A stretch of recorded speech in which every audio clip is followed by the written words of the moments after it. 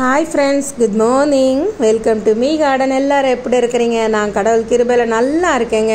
நீங்களும் கடவுள் கிருபையில் நல்லா இருப்பீங்க. நம்புகிறேன் உங்களுக்காக வேண்டிக்கிறேன் ஃப்ரெண்ட்ஸ் ஃப்ரெண்ட்ஸ் இந்த வெயில் காலம் வந்துருச்சு. பட்டையை கிளப்பிட்டு இருக்குது. வெயில் ஒரு பக்கம் ஒரு பக்கம் மழையும் பெஞ்சிட்டு இருக்குது. பட் இந்த நேரத்தில் எல்லோரும் கொஞ்சம் சேஃப் அண்ட் கேர்ஃபுல்லாக இருங்க. சூட்டை கிளப்பி விட்டுரும் ஓகேவா ஸோ இது நம்மளோட அடியினியத்தோட அழகு ராணிகள்.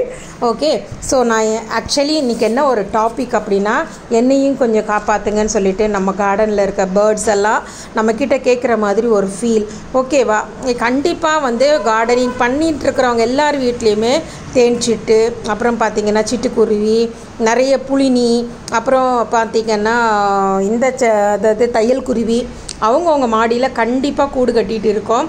தயவு செஞ்சு அவங்களுக்கு இந்த வெயில் காலத்தில் கொஞ்சம் தண்ணி ஒரு ஒரு பாத்திரத்தில் எங்கெங்கெல்லாம் கேப்பு அவங்க வருவாங்களோ ஸோ நீங்கள் அங்கே அங்கெல்லாம் என்ன பண்ணுங்கள் அந்த இடத்துல தண்ணி ஊற்றி தயவு செஞ்சு வைங்க. நான் அதை பண்ணிட்டேன். ஆல்ரெடி என் கார்டனில் எப்போவுமே அந்த செட்டப் இருக்கும். ஒரு இதில் கம்பு போட்டு வைப்பேன். ஒரு இதில் பார்த்திங்கன்னா இந்த பேஷனில் தண்ணி ஊற்றி வைப்பேன். இந்த ஹேங்கிங் பாட்ஸில் ஒரு இதில் பார்த்திங்கன்னா தெனை போட்டு வைப்பேன். இன்னொரு இதில் பார்த்திங்கன்னா தண்ணி ஊற்றி வைப்பேங்க.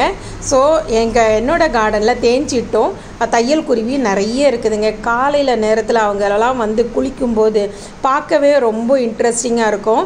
சந்தோஷமாக இருக்கும். பட்டர்ஃப்ளைஸ் ஒரு பக்கம் வந்து ஒரு பக்கம் சுற்றிட்டு இருப்பாங்க. இவங்க அந்த தண்ணிக்குள்ளே இருந்து குளிச்சுட்டு பார்க்கவே மனசுக்கு ரொம்ப இதமாகவும் ரம்யமாகவும் இருக்குங்க.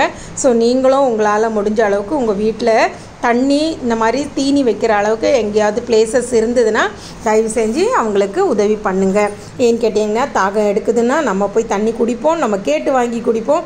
பாவம் அவங்களுக்கு அது கேட்க தெரியாது.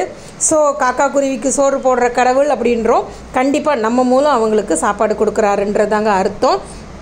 ஸோ அதனால் நீங்கள் உங்களால் முடிஞ்ச உதவியை இந்த காக்கா குருவிகளுக்கெல்லாம் இந்த சம்மரில் செஞ்சுருங்க. ஓகேவா ஃப்ரெண்ட்ஸ் இது வந்து நம்ம புண்ணியம் பார்க்குறதோ இல்லை அதுவோ இதுவெல்லாம் கிடையாது. அவங்களும் ஒரு ஜீவராசி. அதனால் அந்த தண்ணின்ற ஒரு விஷயத்த கண்டிப்பாக நம்ம அவங்களுக்கு கொடுக்கணும். ஓகே மாடி தோட்டம் வச்சுருக்கிறவங்களா இருந்தாலும் சரி தரை தோட்டம் வச்சுருக்கிறவங்களா இருந்தாலும் சரி எங்கேயாவது ஒரு கார்னரில் ஈவன் நா நாய்களுக்கு கூட பார்த்திங்கன்னா வாசலில் ஒரு சின்ன ஒரு வேஸ்ட் டப்பாலையோ இல்லை பாக்கெட்லேயோ ஓரமாக வச்சிங்கன்னா அவங்க பாட்டை அவங்க குடிச்சிட்டு போயிடுவாங்க. பாவம் இல்லையா அவங்களும். அதனால் நான் அந்த வேலையை பண்ணிட்டேங்க. நீங்களும் பண்ணுவீங்கன்ட்டு ஐ ஹோப் நிறைய பேர் பண்ணியிருப்பீங்கன்னு நம்புகிறேன் ஓகேவா? அப்படி யாரையாவது பண்ணியிருந்தீங்கன்னா என்னோடய கமெண்ட் பாக்ஸில் கமெண்ட் பண்ணுங்கள் ஃப்ரெண்ட்ஸ் ஓகேவா? என்னோடய சேனல் உங்களுக்கு பிடிச்சிருந்ததுன்னா சப்ஸ்கிரைப் பண்ணிவிட்டு உங்கள் லைக்ஸ் அண்ட் கமெண்ட்ஸையும் கொடுங்க. உங்கள் ஃப்ரெண்ட்ஸ்க்கு இது பயனுள்ளதாக இருக்கணும்னா ஷேர் பண்ணுங்கள் ஸோ கிவ் அவே அனௌன்ஸ்மெண்ட்டு க கம்மிங் வீக்கில் நான் கொடுக்க போகிறேன் ஸோ தவறாமல் என்னோடய வீடியோஸ் எல்லாம் ஸ்கிப் பண்ணாமல் பாருங்கள் இந்த நாள் இனிய நாளாக அமைய இறைவனிடம் வேண்டுகிறேன்.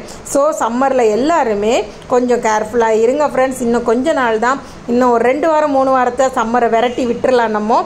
ஓகேவா அது வரைக்கும் have a nice day and take care bye